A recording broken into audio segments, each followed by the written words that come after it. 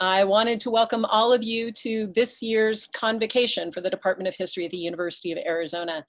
It's kind of a different thing for us, but we're living in kind of different times. Uh, so this is obviously the, the first time we've actually attempted to do this virtually, uh, being hosted by Zoom in their webinar mode.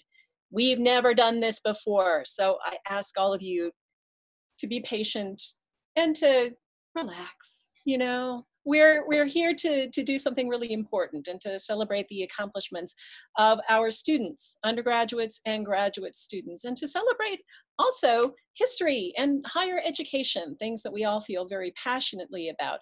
So we'll all just you know take some breaths and things will work out okay? But be patient.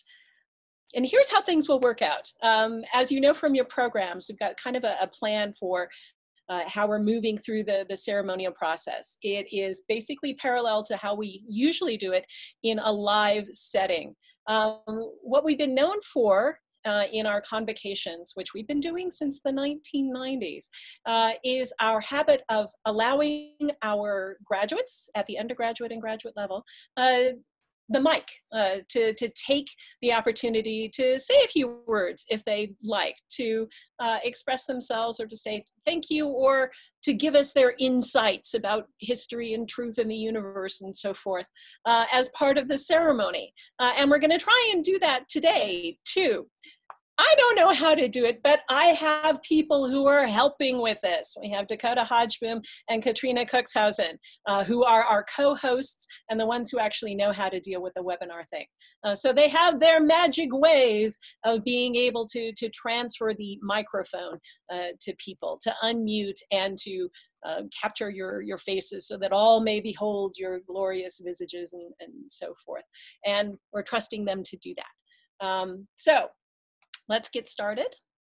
Um, I usually have some words to say about history at this point. And sometimes they're kind of defensive words too, uh, about how history is an important thing to study and people tend to sort of look aside and, and focus on things that are leading, leading directly to jobs or uh, STEM fields and, and that kind of thing.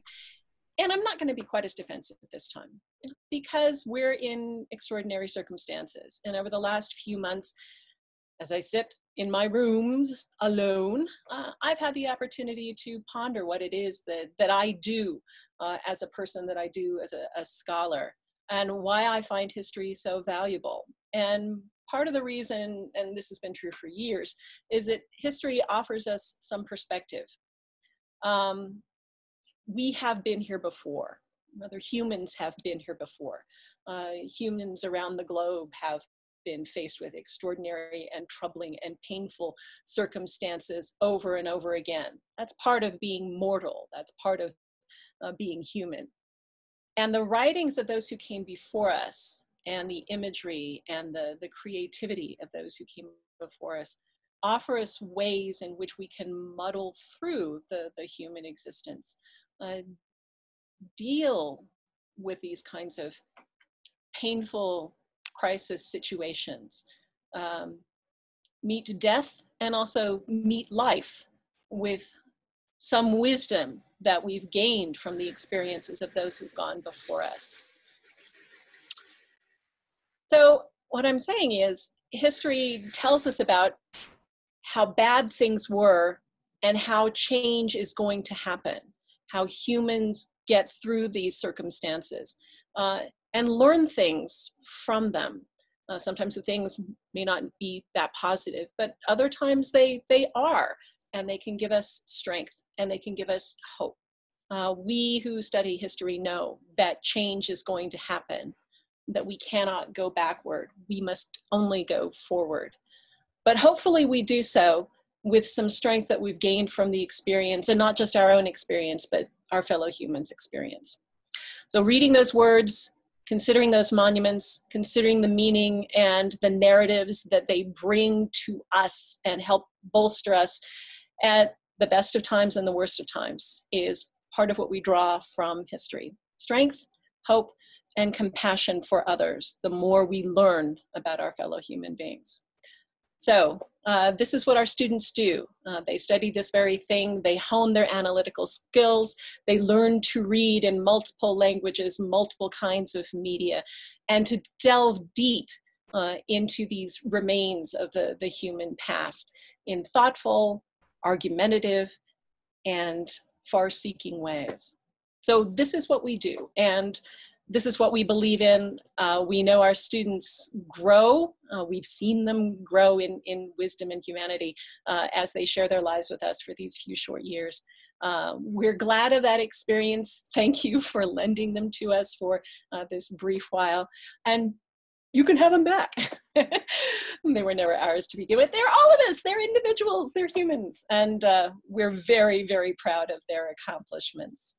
They mean something. Uh, so uh, with that said, let's get right to this. All right, um, first on our agenda, let me just check the agenda. yes, uh, are the awards. Heck, I've disappeared. Oh no. Um, all right, so we offer a number of word, awards on an annual basis in the history department. Uh, I'll just go through them one by one. Uh, the first award I'd like to talk to you about today is the Catherine Ann Governal Perseverance Award.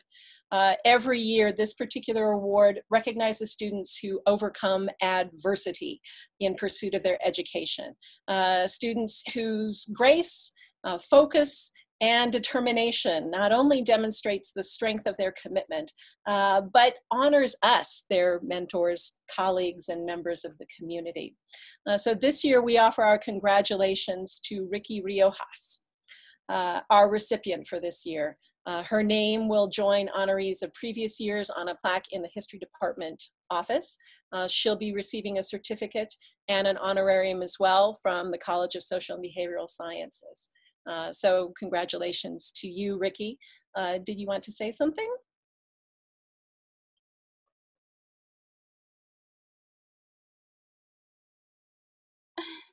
Is it, oh, can I talk now? Yes. Oh, okay, it kicked me off for a second, sorry. Let me get, get my video on. Okay, hi. so I just wanted to say thank you um, to all of the professors who supported me, especially Dr. Crane, um, for I don't know, uh, like I always run to your office all the time, and also Dr. Gallion, um, who's been really supportive over the last four years as well, and of course uh, my family and my friends and everyone else, because I really wouldn't have been able to do it without them. And I don't know, it's kind of surreal to be able to, to actually graduate, um, but I'm glad that I did it, and I'm I'm really honored to receive this award.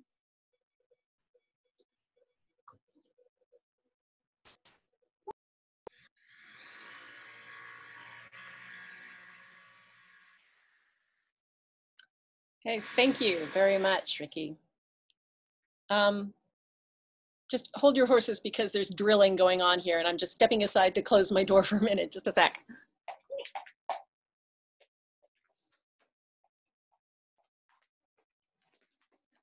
We're live.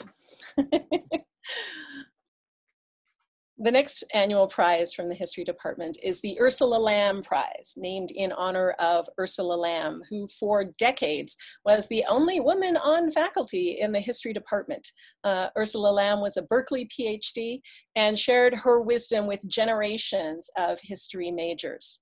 Uh, this award is designated for the outstanding uh, capstone project uh, written by a major in the history department each year. Uh, and every year it's a really, really tough choice. We have some excellent uh, nominees with really intriguing uh, and thoroughly researched uh, projects that they, that they offer up for, for judging. Uh, but this year, our award winner is Ben Ankarski, uh, with a research project on revolution and reaction, sites of memory, and the 1811 German coast uprising in the 21st century. Uh, his project assessed the ways in which this early revolt of enslaved people in Louisiana has been re-remembered, uh, how monuments and historical memory increasingly are acknowledging the violent legacy of slavery. Uh, so congratulations, Ben Ankarski. Would you like to say something?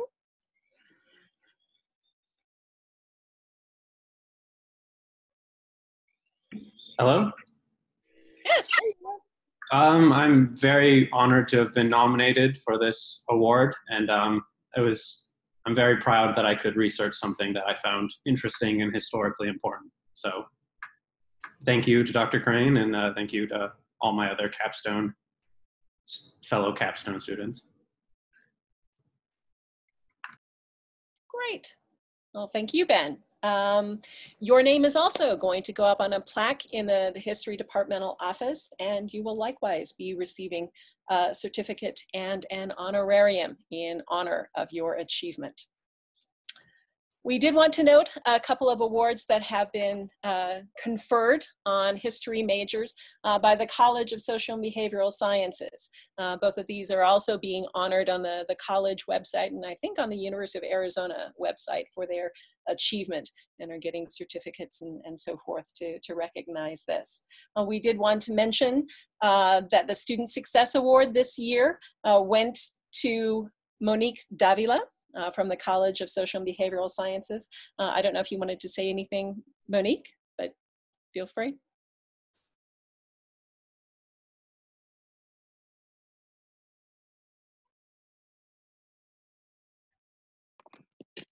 Um, hi. I just thank you. Uh, I want to really thank um, my mentors. I know um, I I had I had the strength to do a lot of this, but I know without my mentors, I wouldn't have pushed myself as hard. So I'd like to thank Dr. Crane, um, Dr. Johnstone, Dr. McWhirter, even you, Dakota, for always being there for me, and um, Dr. Morrissey. And I also want to thank graduate students Ruth and James Barefoot. They actually really helped me push um, for my education and continue my education in grad school. So thank you.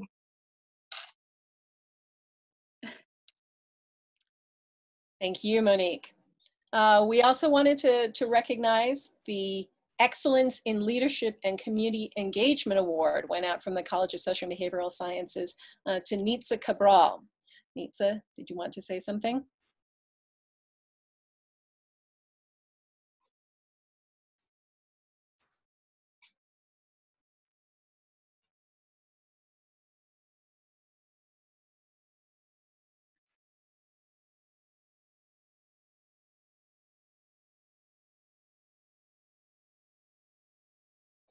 Can you guys hear me?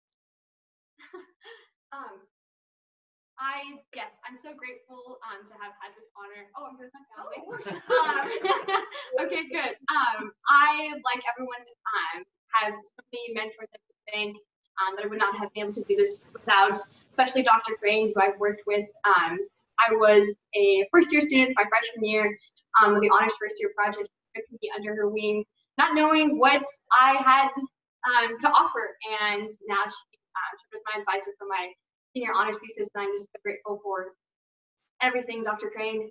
Um, also, Dr. Gallion, um, going into her office every semester and checking all my classes. Um, I'm so, so grateful for um, Catherine and everything she's done. Um, also, Dr. Gibbs and Dr. Hemphill, um, their classes have shaped the way that I perceive and study history, and for that I will be forever grateful um, and this department as a whole. I tell everybody I'm so in love with the history department. Everybody's so obviously passionate about um, what they study and students, and I really do feel that. And I'm so grateful to have been a student here um, for the last four years. Thank you all.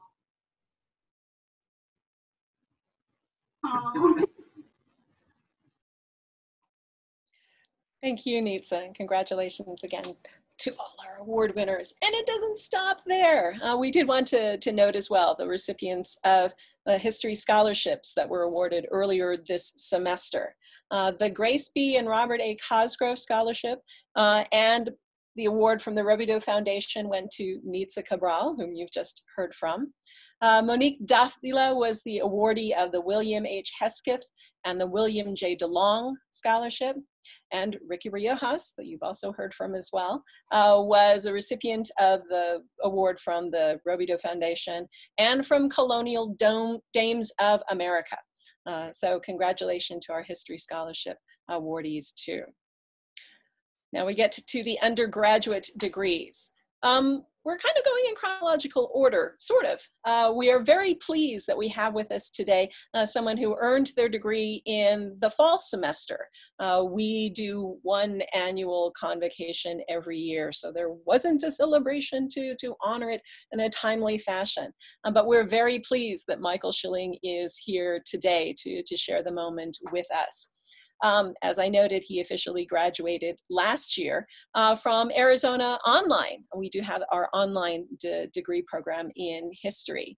Uh, but it had been a few years since he took uh, history classes. Uh, he had some other things, life intervened and, and so forth, um, but he was able to, to finish up with all the degree requirements uh, last fall. Uh, we are so excited uh, that he's been able to join us for the celebration at last and, and thrilled to have him here today. Uh, Michael, did you want to say something?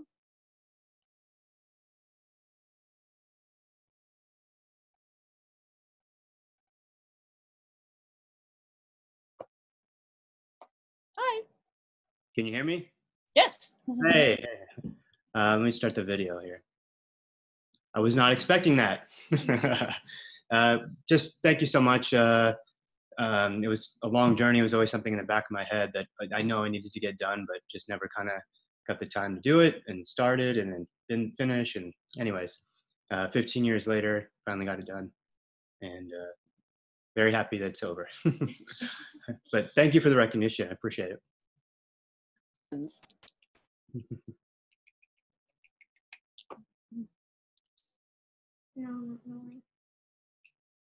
Onward to the spring semester. Um, you've already heard of Nitza Cabral. Uh, her honors thesis title was Dehumanization in the Holocaust, the Experiences of French Female Victims. Uh, she graduates magna cum laude with her degree in history. And as you know, she's an SBS Community Engagement Award winner too. Uh, Catherine Gallion notes that she will never forget Nitza, and I think that's true for many of us. Uh, from the time she first joined us, uh, her professionalism, her focus, her commitment to the degree was so incredibly impressive. So we're very pleased uh, that you finished. We congratulate you, Nitza, uh, on your accomplishment. You said something, but maybe you have something more to add?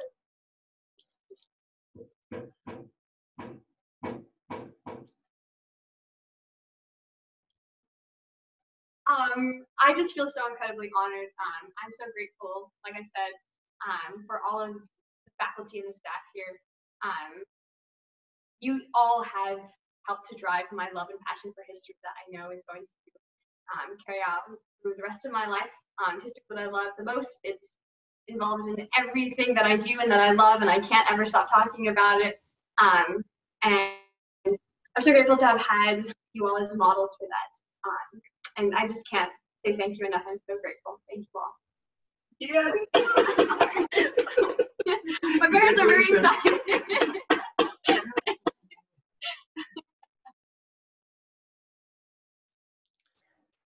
Now you may think that we're getting repetitive here, but I, I assure you it's just a factor of the, the alphabet. Uh, Monique Davila, as you know, also finished her degree with us. Uh, as you remember, she's a, a summa, she's a SBS Success winner, scholarship from the history department and so forth. Uh, I did want to mention too that she's a Magellan Circle Scholarship winner and the winner of the Lauper Scholarship, which are not housed specifically in history. Uh, she was also awarded the Catherine B. Willick Library Research Award uh, from the University of Arizona Libraries. Uh, she published a peer review article in Footnotes, a journal of history, and she's been working here uh, as an intern in the Public History Collaborative. Um, she transferred uh, a couple of years ago to history from Pima Community College. So she's been with us a relatively brief period of time, uh, but has really impressed everyone with her capacity to tackle every challenge uh, to succeed in coursework, research, and her capstone project. Uh, the title of her capstone paper was Captured Innocence, Photos and Memories of Interned Japanese American Children During World War II. She is a summa cum laude uh, graduate at the University of Arizona. Congratulations to Monique. you've already said something, but perhaps you have a, a couple more words to add.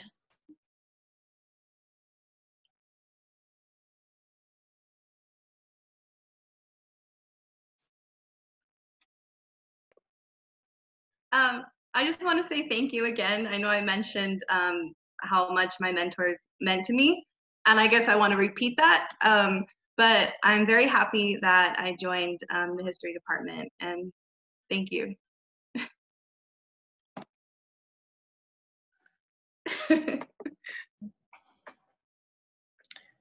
Our next graduate is Riley Graham, who minored in German studies. Uh, he completed his capstone with Dick Eaton, who tells us how much fun it was having Riley in his class, uh, which focused kind of on travel literature. Uh, for his capstone project, Riley decided to work on Alexander the Great, an excellent choice, I say, as someone who studies the ancient Mediterranean. It is an excellent choice. Uh, everybody's familiar with Alexander the Great because of his spectacular conquests, but Alexander did not leave much in the way of travel memoirs, war memoirs, diaries, uh, or anything like that behind him.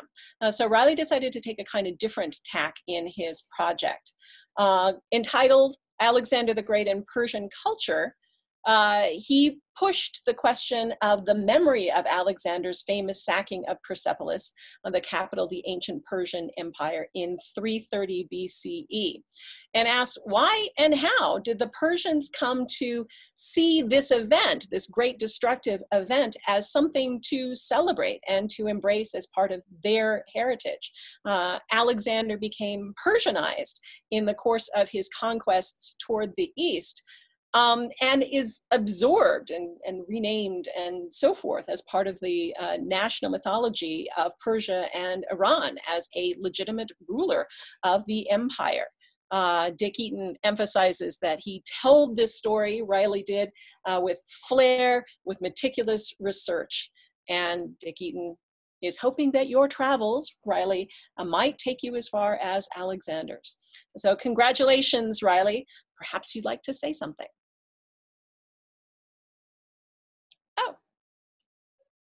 Well, it turns out that Riley is not an attendee today, uh, did not make it to the celebration. We honor him anyway. Congratulations, wherever you may be, Riley. Um, next on our list is Hunter Hogue, uh, who is finishing with a summa cum laude uh, GPA uh, at his degree in history. Um, Susan Crane notes how much of a pleasure it was having Hunter in class, uh, his passion for studying history, uh, particularly the philosophy of history, uh, that made their conversations about Nietzsche and Foucault really fun, really fun.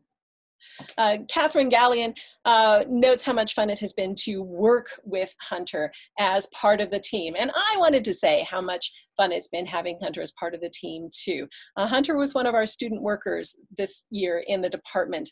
We knew from the get-go that he was smart. We knew he was a dedicated student. We knew he was alert and attentive and a scholar of the ancient Mediterranean. And as you know, I like that thrills me to no end. Uh, but we're also really pleased to learn how kind and thoughtful he was as well. And this is something that really uh, shone through in the last couple of months uh, in the time of the COVID-19 separation. I've heard from so many members of the history community specifically how much they appreciated and were even touched by Hunter uh, reaching out to make sure that all the members of the community were actually okay uh, on a bi-weekly basis. Um, so I just wanted to say, Hunter, we're so glad to have gotten to know you. We really congratulate you uh, on your achievement here at the University of Arizona, and we're, we'll miss you. Hunter, did you want to say something?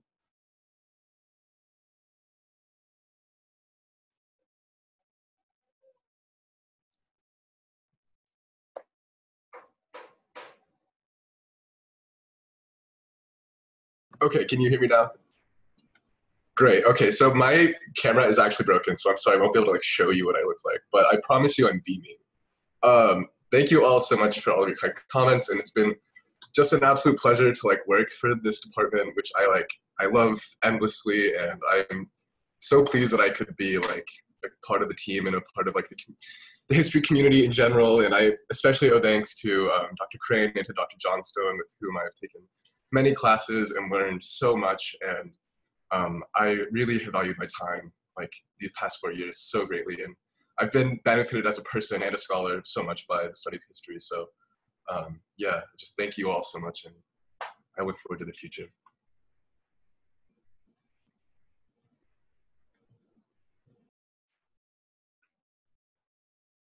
Congratulations again.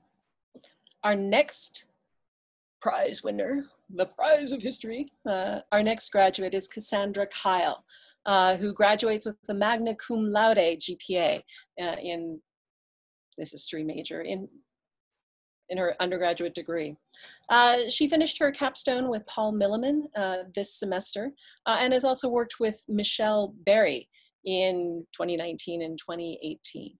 Uh, she is known for her brilliance and for her thoughtful consideration in class and her important role that she's been playing in discussion as well. Um, she previously was known as, as Cassie London, so maybe some of you may have uh, remember her from, from that period in her life. Uh, we want to congratulate you, Cassie, on your achievement uh, as a history major. Perhaps you'd like to say something.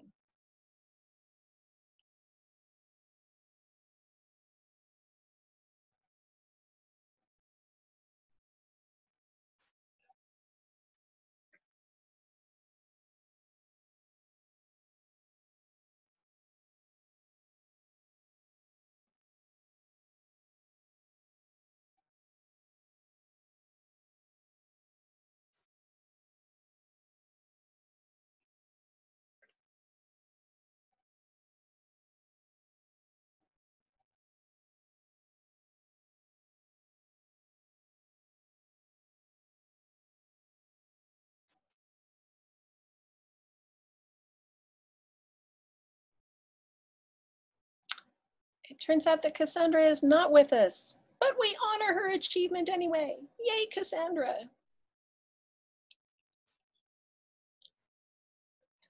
Our next graduate is Alex LaPierre, who is finishing summa cum laude. Uh, he's an Arizona online student, like others that we know and treasure. Uh, Paul Milliman nominated him for the Outstanding Senior Award.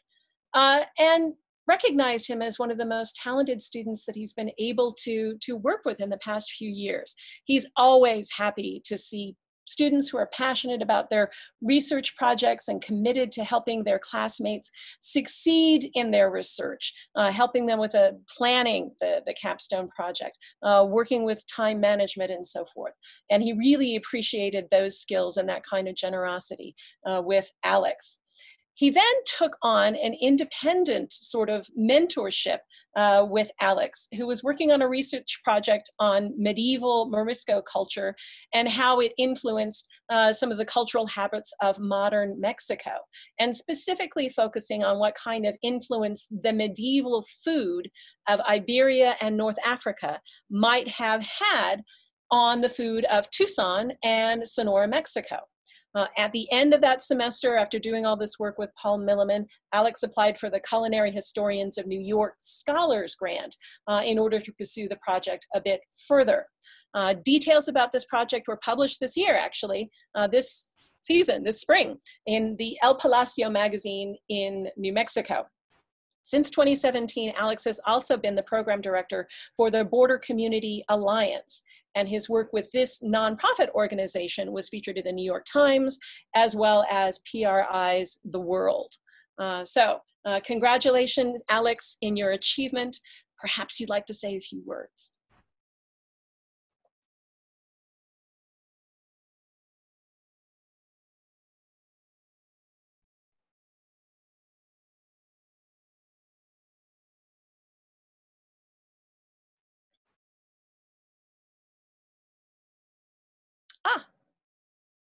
I see he's not a current attendee. Well, we honor his success anyway, and we look forward to learning more about Morisco food.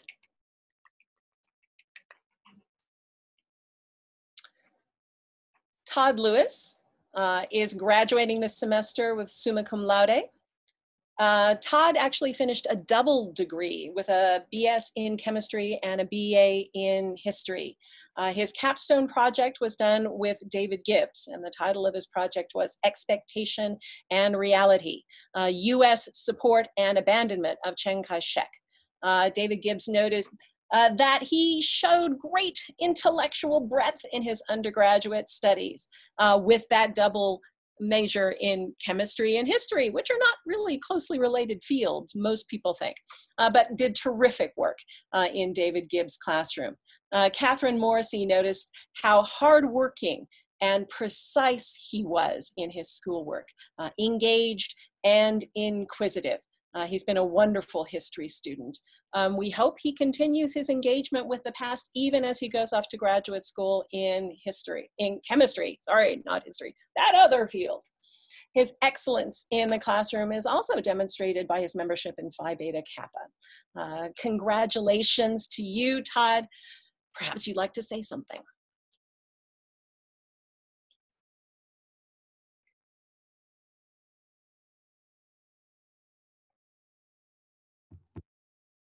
Can you hear me? Well, I just wanted to say that it has been an absolute pleasure. Oops. An absolute pleasure being a part of this department. While chemistry and history are certainly um, not the most related degrees, I knew that I would regret not getting a history degree here at the University of Arizona.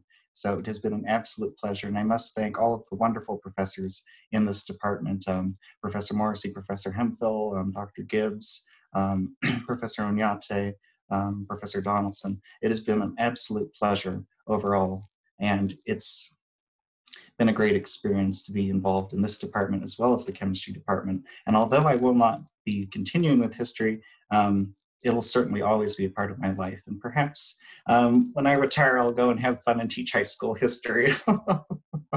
but anyway, thank you again for the wonderful um, experience. Thank you again for all.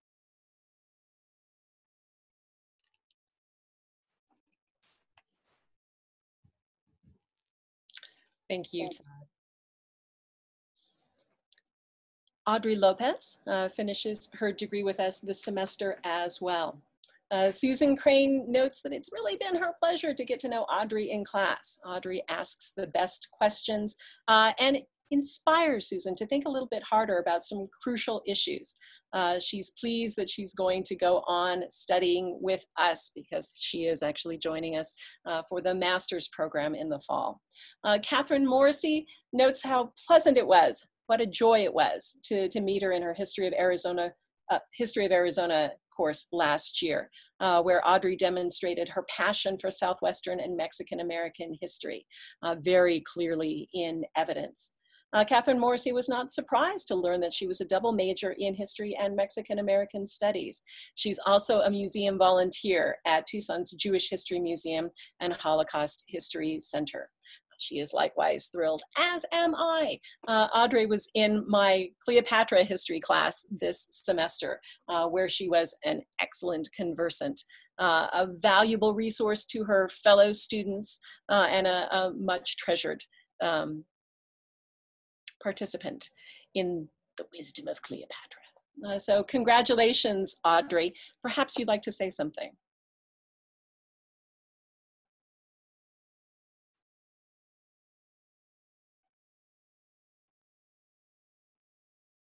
And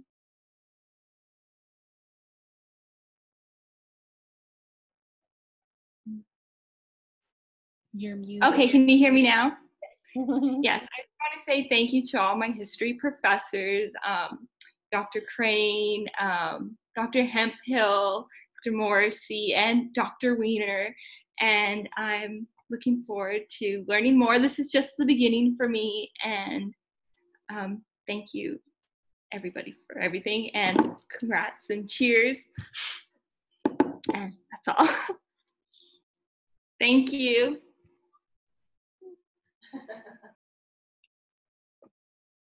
A refreshing and wholesome beverage is always a good means of celebration. Our next graduate is Louis Lopez, who is a double major with law. He took History 498 with David Gibbs and transferred from Pima in 2017 to join us. He has always impressed his professors with his persistence and determination. Uh, Susan Crane notes what a pleasure it was to get to know him a little bit in the history of memories and how his family photos and stories really resonated with the entire class. Uh, we all joined together in congratulating Louis on his achievement. Perhaps he'd like to say something, Louis.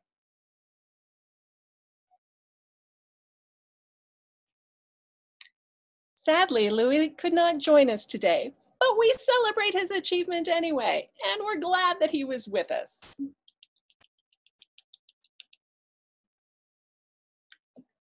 Nathan McWhorter is our next graduate. Uh, he graduates cum laude with a German Studies minor. Uh, Susan Crane notes how Nathan approached the history of memories through family connections, reaching back into the 19th century, which really did enliven class discussion um, and brighten it up with his historical collections as well. Uh, he did his capstone course with Richard Eaton this semester, who says that what he admired most about Nathan's work in the, the capstone course was his courage. Nathan picked not one, but two world famous travelers to focus on.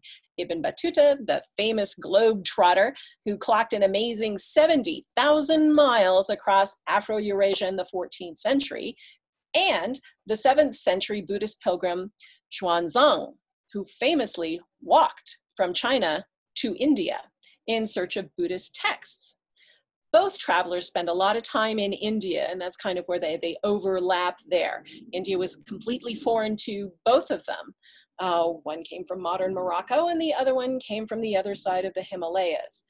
But Richard Eaton was really impressed how Nathan managed an exercise that gulped down world history, comparative history, completely disparate contexts, and did it all with style and aplomb. He wants to encourage Nathan to keep tackling such ambitious projects. Uh, Nathan was also in my Cleopatra course, uh, where we valued his constant presence back in the before time when we were all in the same room together. Uh, and in the last few weeks when we've been able to come together and have more discussions as a group too.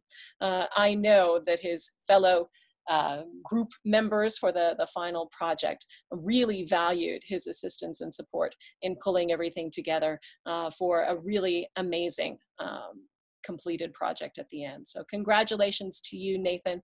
Uh, perhaps you'd like to say something.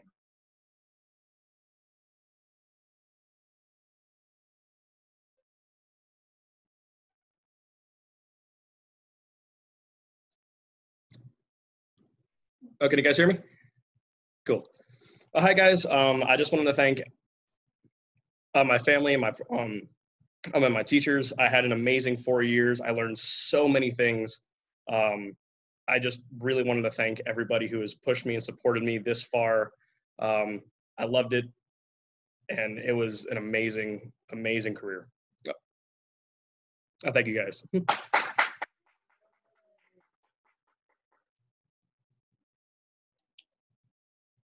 Congratulations, Nathan. Alexandra Martinez as our next graduate. Uh, she's graduating cum laude and is a double major in anthropology. Uh, she finished her capstone course with Erica Perez in fall of 29, and her professors remember her as a dedicated and devoted student uh, during the years that she was with us in history. Her achievement in this double major and fairly challenging uh, courses of study is likewise much appreciated and respected by all of us. Uh, Alexandra, perhaps you'd like to say something?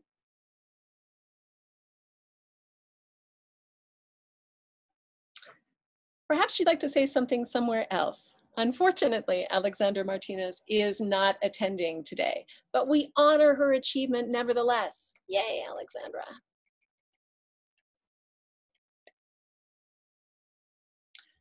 Rachel Nach is our next graduate. Uh, she is a magna cum laude uh, graduate in the history degree, but she double majors with philosophy, politics, economics, and law.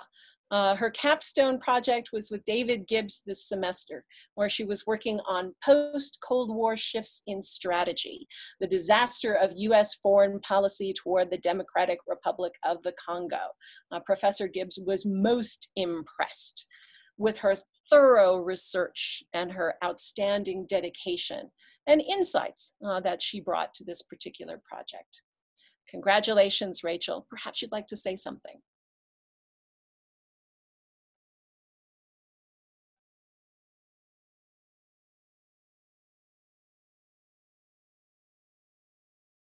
Hi, I just wanted to say thank you so much um, to all my professors and thank you so much to the history department. You guys are amazing and I have learned so much and I will take all this invaluable information into the future. Thank you so much.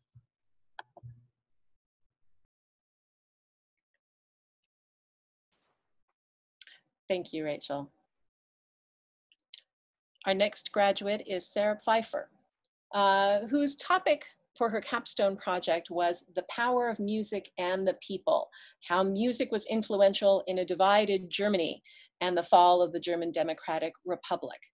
Um, she's minoring in government and public policy. Uh, most recent rumor has it uh, that she was going to apply to speech pathology for graduate work.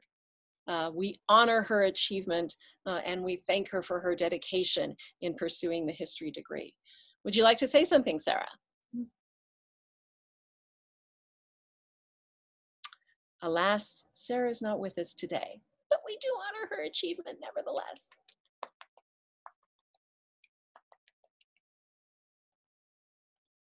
Our next graduate is Ricky Riojas. You will perhaps remember the name. Um, her capstone project was titled Teatro Carmen in Memory and Monument, a history from 1915 to 2020. Uh, she finishes her degree magna cum laude.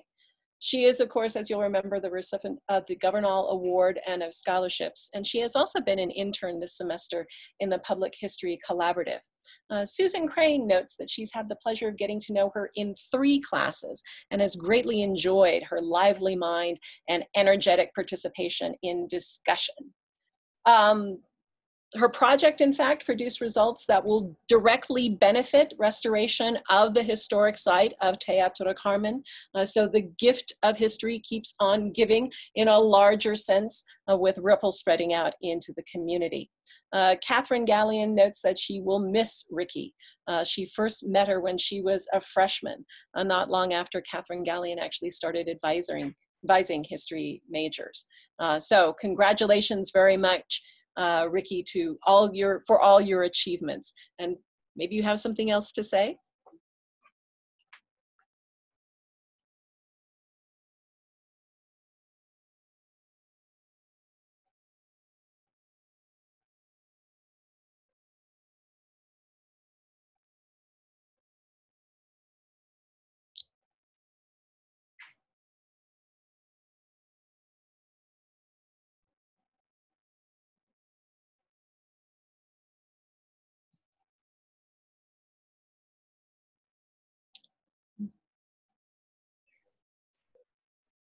Hello, I think, oh, there's my webcam. Okay. Yeah, so I just want to add on to my thank yous um, and also thank, in addition to, to Dr. Gallion and Dr. Crane again, um, also Dr. McWhorter for being really supportive and uh, just helping with just the whole internship in the PHC and making it a really good experience and encouraging me to continue my outreach efforts um, with the Mexican American Museum. And also thank you to everybody at the Mexican American Museum who just this whole semester has been so kind and so supportive and um, especially since October when I started there. And the Galpin family and the Hislop family and all of the Riojases and everybody that's on the Buwan side as well. Um, just because really all of them have just been so great. And I really wouldn't have been able to get here without all those people.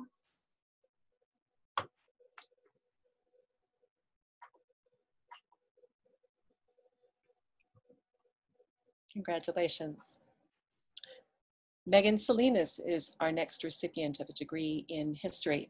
Her capstone paper was on the systemic erasure of the murdered homeless from the collective memory of society. Susan Crane notes that she has been a quiet presence in three classes with her. Uh, but if she tends to listen more than speak in class, when she writes, she has a lot to say. Megan's capstone paper drew attention to some of the most vulnerable members of society and how failure to remember their deaths amounts to a double dying. Congratulations, Megan, and keep up your passion for advocacy. Perhaps you'd like to say something, Megan.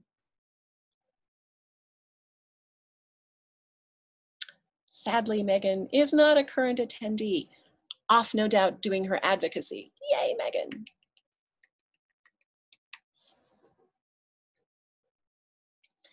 Erin Spitzer is our next honoree for her graduation in history. She completed her senior capstone course with Tyina Steptoe in fall of 2019, uh, writing on queer music in America, the concept of queer artists, ideas, and dreams as seen through decades of performances and song. She has a minor in film and television and at one time was a manager at a Disney store where maybe she still is. Yay, I love Disney, interesting. Um, Professor Steptoe notes that she really enjoyed learning more about her interests in music and also enjoyed discovering their shared love for Diana Ross. Uh, so congratulations very much, uh, Erin Spitzer. Perhaps you'd like to say something? We congratulate her even though she is not sadly present with us today. I'd now like to turn turn the microphone over to my colleague, Susan Crane, who has something to say about our honors graduates.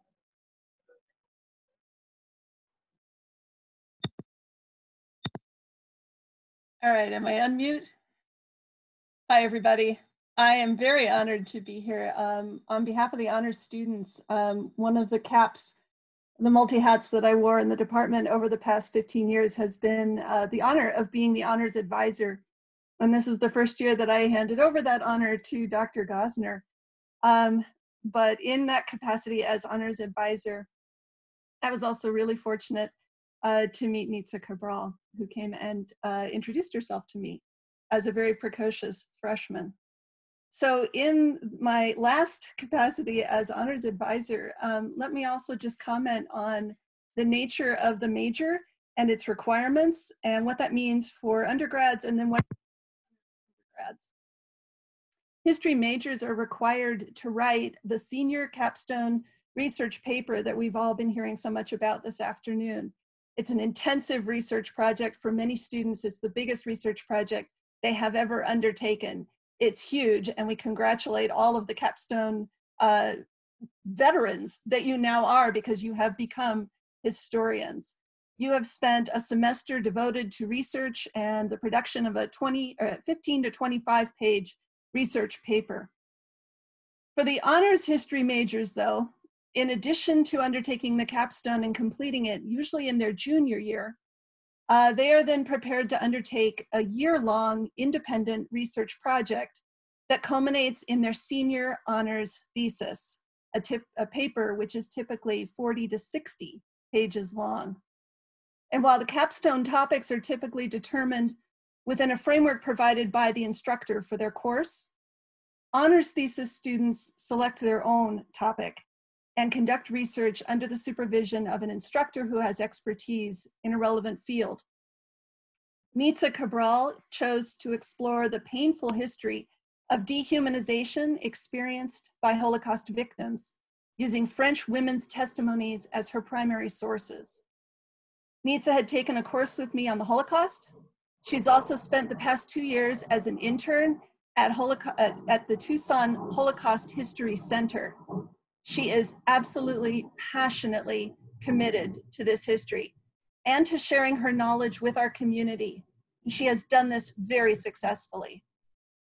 I'm so pleased that Nitza has earned an additional extraordinary honor and that she has been selected for Teach for America. She will begin teaching social studies to some really lucky middle school students in Indianapolis this fall. I'm very proud to congratulate Nitza on her achievements at the University of Arizona and to wish her all the best as she embarks on her new adventure. Well done, Nitza.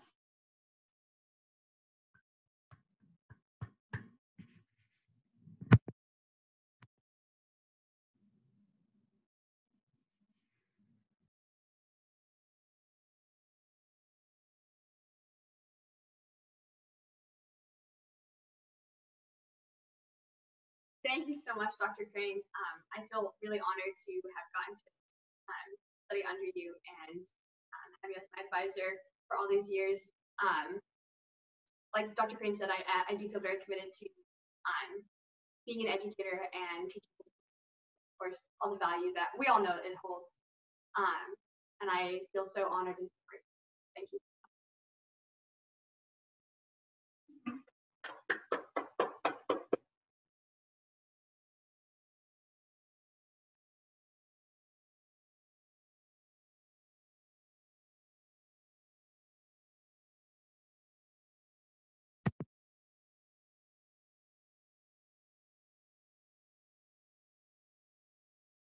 We had two other students who completed their honors. Uh, we had two students this year who completed the honors thesis. Nitza is the only one attending graduation. Thanks, everybody. So is that me now, I guess? That's my cue? okay, all right. Um, so again, if, if, um, if Professor Futrell did this at the outset, I'd like to do it again. I'd like to welcome and thank all the graduates, first of all, uh, but also their parents, uh, relatives, friends, uh, continuing graduate students at the University of Arizona that I know are, are, attending, and my colleagues for being here and for joining us in this extraordinary 2020 commencement celebration. Um, we're here to confer advanced degrees in history on six individuals, Kristen Cohn Howard, Laura Key, Max Mangraviti, Hannah McLean, Claire Perot, and Sophia Zepeda. This follows a tradition that goes back to the University of Paris in 1231 when Gregory IX authorized the first non ecclesiastical conferring of the universal license to teach. That license eventually evolved into our master's and our doctorate.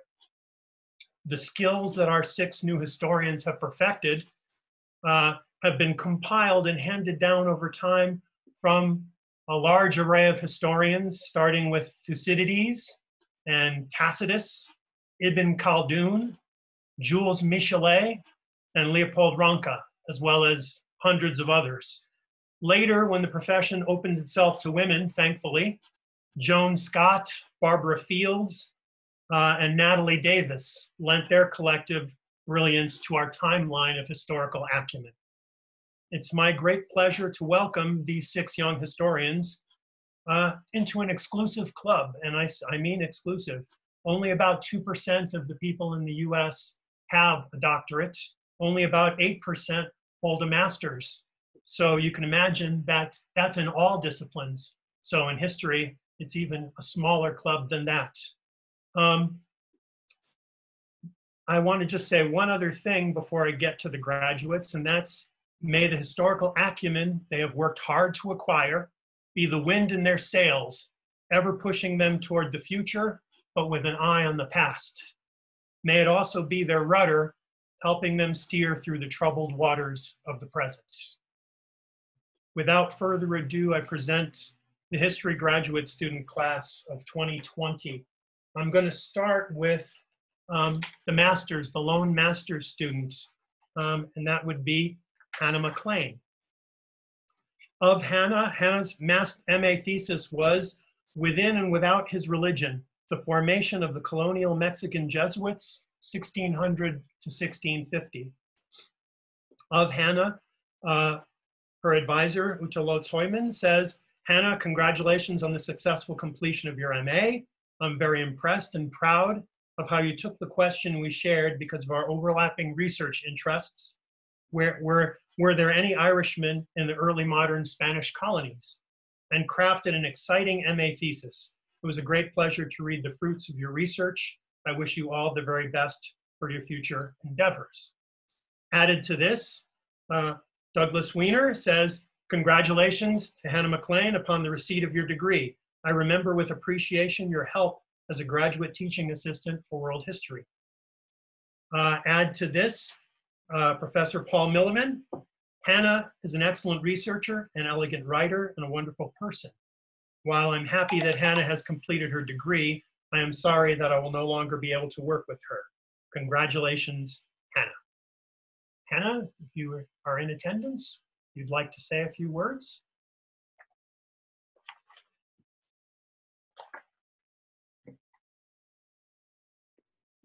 Hello, can you hear me? We can. Great. Well, thank you so much for those kind comments. Um, I want to say thank you to the professors I've worked with here over the years, uh, especially my committee members, Professor Gosner, Professor Plummer, and Professor Lotz-Heumann, as well as Professor Brescia over at the ASM, who went out of his way to help me uh, with my thesis research, and also the division affiliated faculty, um, Professor Milliman and Professor Graysford. So thank you all.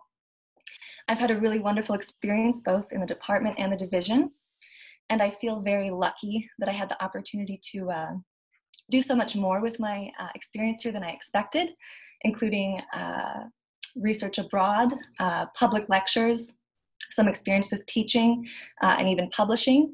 So I really learned a lot here, even beyond my coursework. Um, so thank you again uh, for all the input that I've benefited from, and I wish you all the best moving forward. Thank you so much, Hannah. On behalf of the History Department, I congratulate you on your Masters of Arts in History. Congratulations. Okay, um, moving right along, turning to the PhD students um, in alphabetical order. I start with Kristen Cohn Howard. Uh, her PhD thesis was entitled A House Dedicated to God, Social Welfare and the General Hospital in Reformation Geneva, 1535 to 1564. Of Kirsten, her advisor says, Professor Lotz-Heumann, Kirsten, I'm very proud of you. It was so great to watch you grow as a historian during your time at the University of Arizona. I'm grateful for being a, a part of your journey, and I wish you great success in your chosen field of archive and library studies. You will always remain my shining example, often used to motivate other graduate students of a person who developed two PhD topics while taking my courses. I'm sure that'll remain a record for a very long time. Congratulations. To this, Professor Douglas Weiner added, in eons past, when dinosaurs roamed the earth, Kristen Cohn Howard took historiography with me. I am pleased to see that she has attained her goal. Add to that, Professor Jeremy Vetter it was always a great pleasure to have Kristen as one of my TAs for my large gen ed classes. She was a well organized, dedicated, and highly talented teacher who instills a passion for learning and a high level of engagement with her students. And lastly, Professor Paul Milliman adds, Kristen is one of the very best graduate students I've had the pleasure of working with. Her teaching was absolutely amazing, as was the dissertation she just defended, which was truly a pleasure to read. Congratulations, Kristen. Kristen, if you'd like to add any words.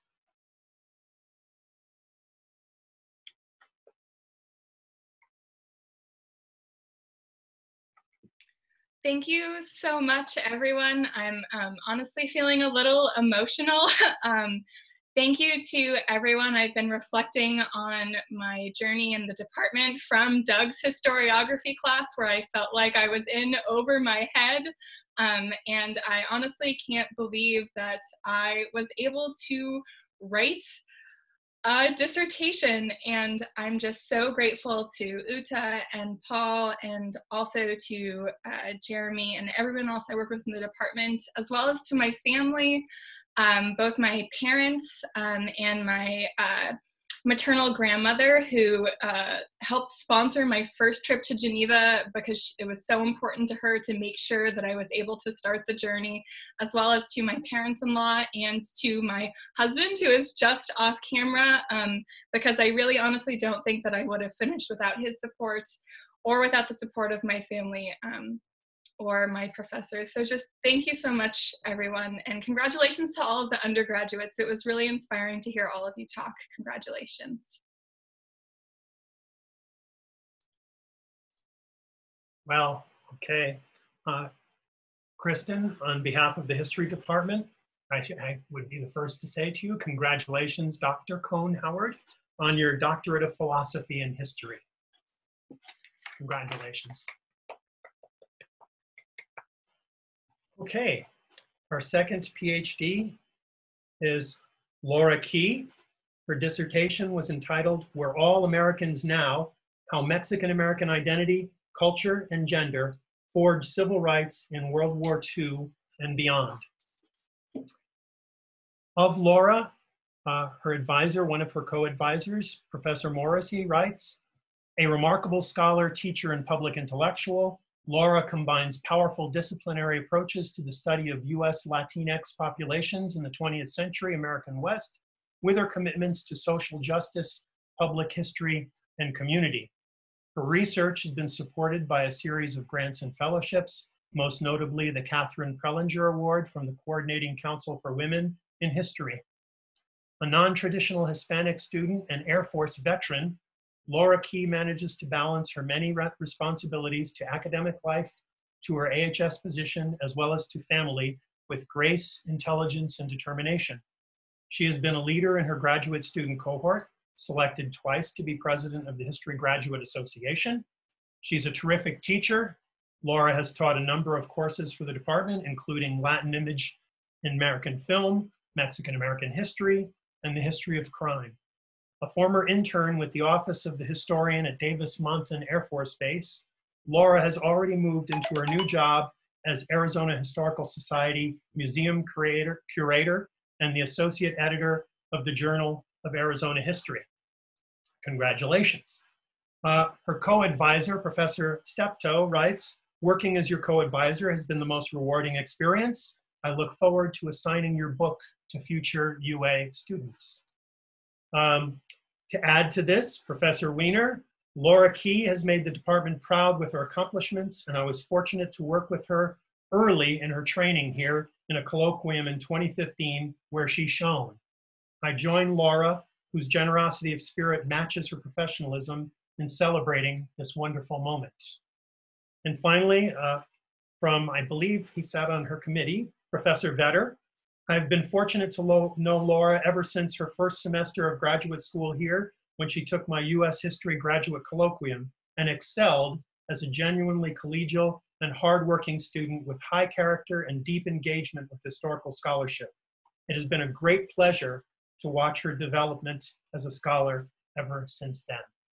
Laura, I turn the mic over to you for a few words.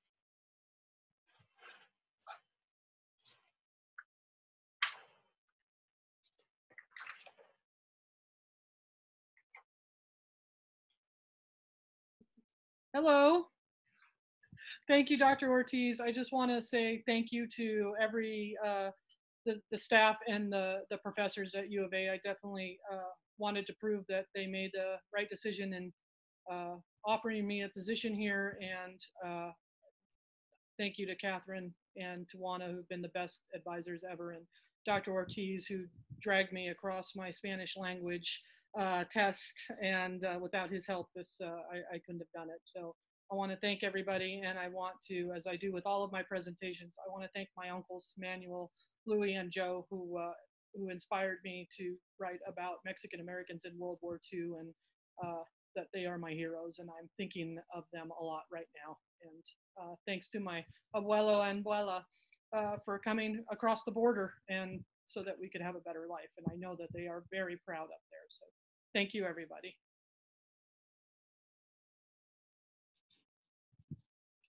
Thank you, Laura. And on behalf of the History Department, congratulations, Dr. Key, uh, on your Doctorate of Philosophy and History.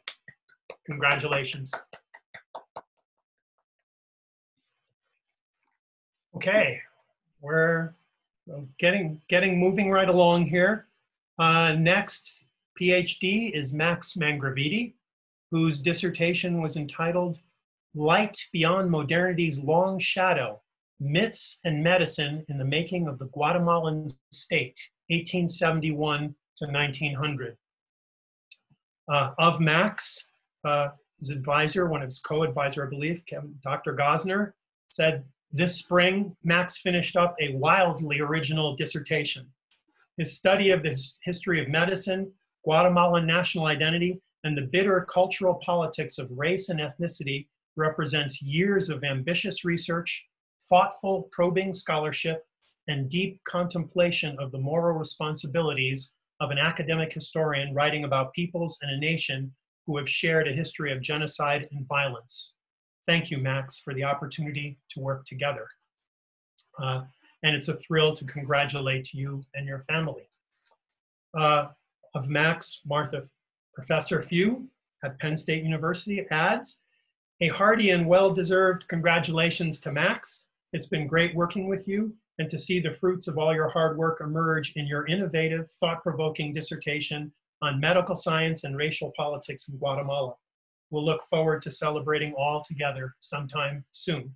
Uh, I think I second that. We all wish that. Uh, also adding to the comments, Professor Pieper Mooney, Max, you made it through the finish line and have every reason to be proud and happy about a terrific dissertation. You write poetic prose that carries a passion for the subject matter side by side with evidence and arguments. A tremendous accomplishment, heartfelt congratulations. And finally, Professor Weiner adds, it seems like a million years ago when Max studied history, historiography with me. After all that reading that semester, it's a miracle that he didn't give up on the profession. Sincere congratulations, Max. And with that, Max, if you would like to add a few words.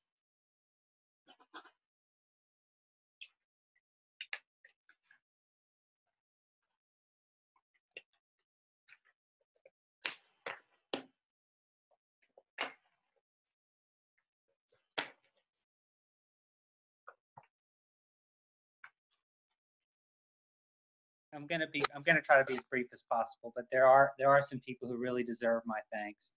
Um, you know, when my journey began uh, in graduate school many many moons ago, I never could have anticipated just how transformative the experience would be, and this is on both an intellectual and personal level.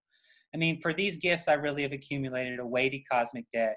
Um, to those people who provided sage advice, good directions, sustenance, and support along the way you know, Kevin Gosner was the first one to welcome me to the history department at the University of Arizona. He walked alongside me as an academic advisor, an intellectual counselor, and a friend. Uh, and that's true even it wasn't even when it wasn't exactly clear where I was headed. Uh, at every turn, he forced me to dig deeper for answers in historical sources, to always theorize the role of power in the construction of reality, historical or otherwise, and to continuously question the meanings I attached to history during the investigative process. Um, I could not have asked for a better guide into the historical bits during my first true foray into the history of science and medicine than Martha Few. Professor Few's genuine love for the subject, her dogged determination to leave no stone untold, unturned, revealed a largely unspoken world of uncontested ideas that forever uprooted any notion I had previously about the nature of knowledge itself. Uh, together, Dr. Few and Dr. Gosner's passion for history shows in their enthusiasm for teaching and their command of the subject inspires those around them to never settle for half truths and always seek out the full story. Uh, together, they also mentored me as a novice educator. They animated my desire to think beyond the halls of the academy to explore new horizons, not solely as a professional researcher, but alongside the students whose presence graces the sacred space of the classroom. And as a team, they held fast in their support and encouragement for my investigation as I struggled at times to put one foot in front of the other. They believed in me when I did not believe in myself, the greatest gift any educator can bestow upon a student. I also want to thank Linda Green, um, whose passion for social justice, her personal strength, and unique ability to see the hidden, unspoken processes that operate behind the scenes of history inspire these qualities in all of those who have the privilege of participating in her classes. Um, she forced me to con- constantly question the role of power in the construction of knowledge, to connect what I've learned to real world applications that were relevant to the lives of those who were the subject of my academic investigations. I want to thank Jadwiga Pieper Mooney, who unselfishly shares her sharp intellect, wit, and ability to articulate the meaning behind a complex and multidimensional world on the move in remarkably clear terminology with all of her students. Um, and it was it was sort of as a result of working with her that she also helped me to translate my own theories into a workable model for investigating history that was attentive to how ideas and knowledge relate to power, how power relates to institutions and legislation, and how once combined they structure the social and cultural world in which we all operate. And a special thank you to Professors Bert Barickman, Douglas Weiner, David Ortiz, and Katherine Morrissey, who also assisted in my intellectual and professional development. And I can say that having attended Dr. Weiner's historiography class, there is not a subject or topic that I was not exposed to in that class um, that I discovered on my own in the future. Um, so that's a testament to, to him. That's a testament to the work that he put into it. Um, and and I, I, I, really couldn't have asked for a better guide. But I also want to thank very quickly my parents, uh, Claire and Joseph Mangraviti. Uh, they spent a lifetime instilling in me the tools to survive along with the strength to persevere no matter what the challenge. They never doubt, and they never doubted I would do just that. I couldn't have chosen better guides nor asked for better company. Um, to my son, um, who waited for daddy to finish working in order to play, who slipped artwork and toys under the door of my office to brighten my day, who greeted me every office break with a smile and a hug. You've taught me about a love that I otherwise would not have even, would not have known even existed, and made me the proudest father the world over. I only hope the future provides me with the opportunity to teach you half of what you've already taught me. To my wife and best friend Ladisi, who's my personal hero, she expanded my horizons during many intellectual discussions at all hours and listened to me pontificate within reason after having exhausted the breadth of my capacity for intelligent conversation on any one subject. To say that I married my better is an understatement. Ladisi shared my dream, and not because she lacked her own, or not because she ceased pursuing it, but because that's what you do for those you love. You're selfless. I'm in awe of her presence and forever indebted to the love and support she has shown me. We did it. I hope to one day follow in the footsteps of the professors I have mentioned, who each have that special gift as educators that forces students to strive for greater understanding without making them feel less than. That is to encourage each and every one of us to continue to fill up our cups with new ideas, yet without asking that we first completely empty its contents. With that said, venceremos. We will overcome in the present and future just as we have done in the past. Thank you all very much.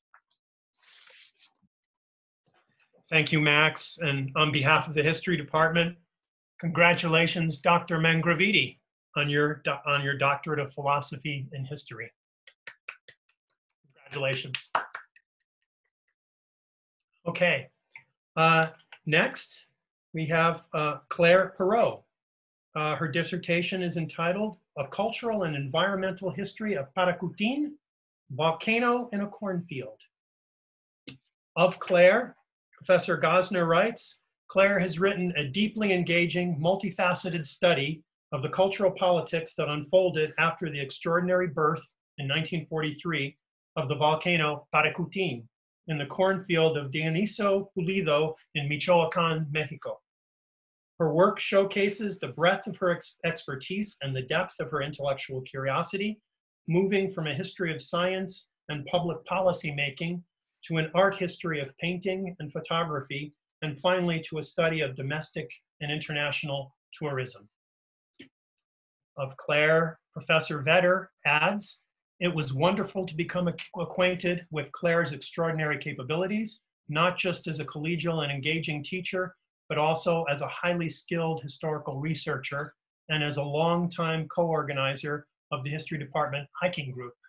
Uh, I second that, Jeremy. Uh, and finally, uh, Professor Beezley adds, Claire will begin her academic career as Dr. Perot at Auburn University this fall. She doesn't know yet if it will be in person or online, but she will be bringing broad experience to the classroom. She took advantage of the opportunities provided by the UA for seminars and courses in Latin American history, Latin American studies, history of science, workshops in geology, anthropology, and science. She also had internships in the Rainbow Bridge program in Utah, the Center for Creative Photography on campus, and as an editorial and production intern for the PBS program in the Americas with David Yetman. Her graduation today celebrates her imaginative selection of courses to provide the education she needed and celebrates the willingness of the UA, University of Arizona, to provide these unique opportunities so she could write about the cultural significance of a Mexican volcano. With that, I turn it over to you, Claire, for a few words. And I miss you as our hiking buddy.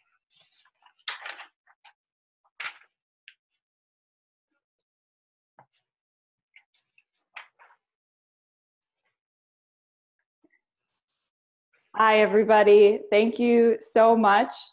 Thanks to the U of A for this awesome hat that they sent me. Uh, I just quickly want to say uh, thank you to everybody. It takes a village, most of whom could not be here. Thanks to my friends and family. Without their support, I wouldn't be here, sitting here instead of up on a stage, but I wouldn't be here um, without them. A special thanks to my colleagues, my fellow graduate students. Um, it that really um, helps get through the program, uh, having um, friendly graduate students, especially my fellow Beezley advisees. Um, they know who they are. And also thank you to all the professors um, that I've had the privilege of taking classes with or working with throughout my six years here. Also, of course, special thanks to my committee members, Dr. Gosner, Dr. Vetter, and Dr. Jenkins um, for putting up with my endless questions and requests. Um, I think I'm kind of a needy advisee, but finally you're you are almost free of me. Um, thank you also for the hikes. That has been such a inspiring um, part of the graduate program. and a special thank you, of course, to my advisor, who's been the most supportive advisor that I could imagine, Dr. Beezley. Thank you so much. Um, I'm not sure if he's on here, but I really owe a lot to him. He's been encouraging and has provided me with truly exceptional opportunities throughout my six years here at U of A. He's listed a couple in his description and um, those opportunities that I've always uh, said yes to have, I think, helped me in getting to me to where I am today, um, starting a career at Auburn next year. So I'm very excited about that. So I look forward to future collaborations and engaging conversations with all these people that I named. I hope it doesn't end here. And I just want to say thank you so much, everybody. Thank you, Claire. And on behalf of the History Department, congratulations, Dr. Perot, on your Doctorate of Philosophy and History. Congratulations.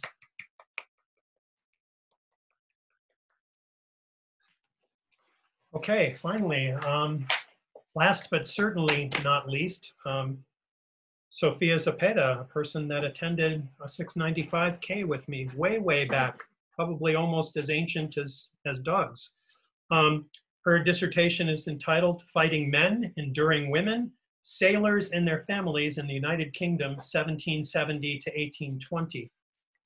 Of Sophia, her advisor, Professor Tabili, writes, Sophia produced a path-breaking dissertation on the social and cultural role of sailors' wives and families in British empire building in the Age of Revolution.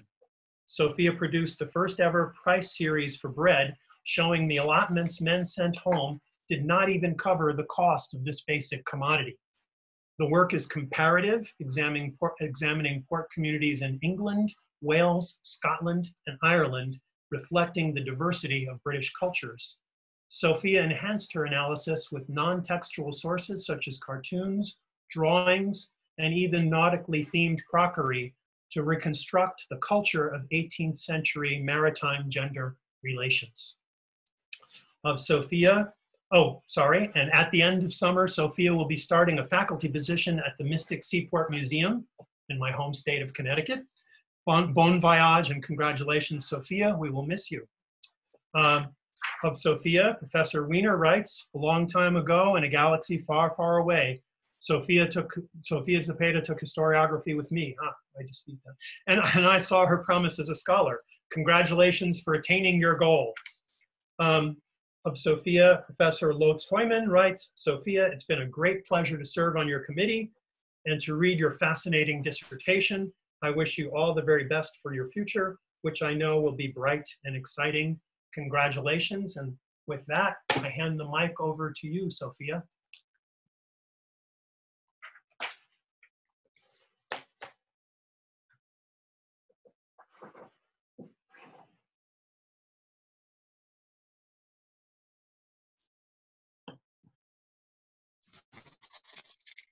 Hello. Um, hopefully everybody can hear me. Um, so thank you. Uh, so I want to say it's been a long road. Um, I didn't just earn a silly hat, um, but also a new set of perspectives and questions, um, bigger questions that will always be with me. Um, as I thought about preparing my remarks for today, Uh, I thought a lot about what this time here at the University of Arizona has meant to me and how it's changed my life. Um, I thought about the friends I've made here.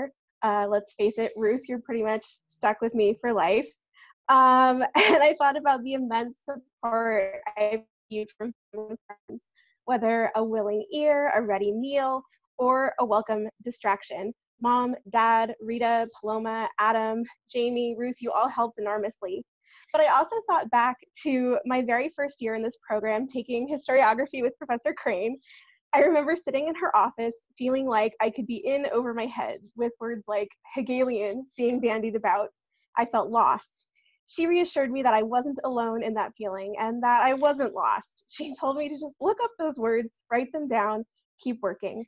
So I did the professors I've had the, the pleasure of working with here, uh, not just my committee members, Laura, Ute, and Susan, but especially them, have given me an irreplaceable gift. They've taken my questions, ideas, and research seriously, challenging it and making it better, and making me a better scholar for it. I don't think it would have occurred to me uh, to spend several months digging through uh, British newspapers otherwise, looking up the price of bread, for instance. Uh, working full time as a social studies teacher while finishing this program has been challenging, um, but it's also made me appreciate the power of consistency, of showing up for the people who need you. Too many of you did that for me to name, but know that I appreciate it truly. Now I look forward to my next step as an assistant professor, Williams Mystic, and I hope to do for others what you did for me here. Thank you.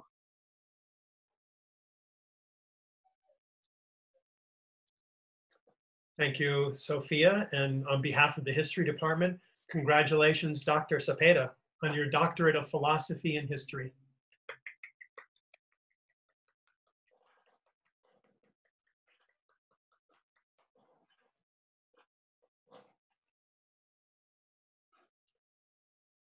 And with that, uh, and with that, that is the completion of the graduate students and the graduate part of the program. So I turn the mic back over to Professor Futrell.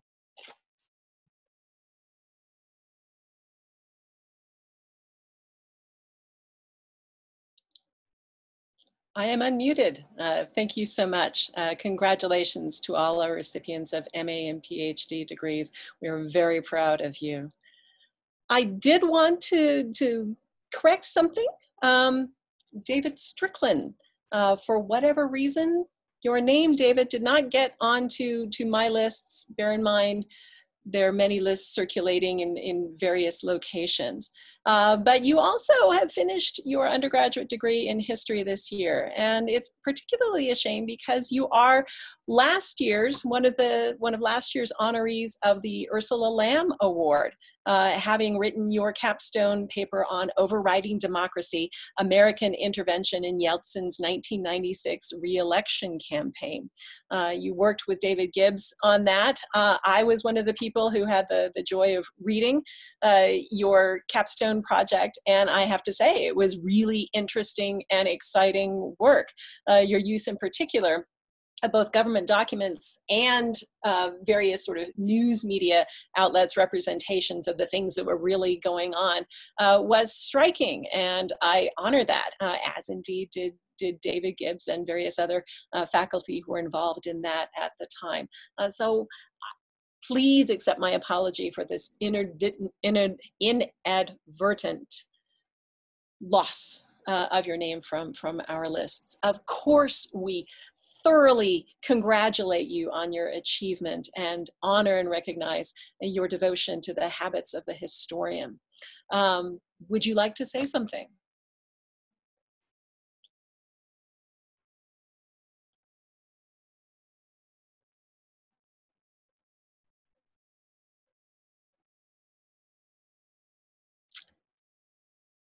It looks like David is no longer here. Well, this is all being recorded and hopefully uh, David will be able to watch it at some point in time. And congratulations, David. So, time for some concluding remarks here. My usual habit in putting together these remarks is to, to reiterate uh, some of the, the vital importance that I see in the historical project, uh, some of the ways in which uh, history can bring to us different kinds of, of understandings. Um, reiterate that I think history is fascinating. And as you know, I'm a sort of person who studies Cleopatra. So there are lots of fascinating things uh, about history, uh, the way in which one can find all kinds of stories in the past, dramatic, compelling, human, kind of seedy at times, and, and shocking and interesting stories there. Uh, but history is valuable to us as a society. Uh, it is the thoughtful interrogation of who we are, uh, what led to now, where we came from. It offers us perspectives on the, the twists and turns of the human experience. There are leaps of empathy that are required to understand all the complexities and contortions and strange pathways of the past.